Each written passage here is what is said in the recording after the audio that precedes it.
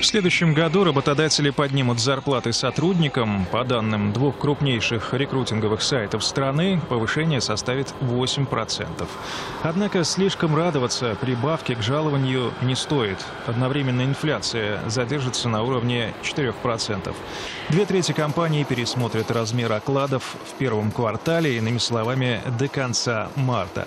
В то же время увеличится и количество вакансий на 5%, хотя и без сокращений не обойдется, в первую очередь упадет спрос на работников низкой квалификации.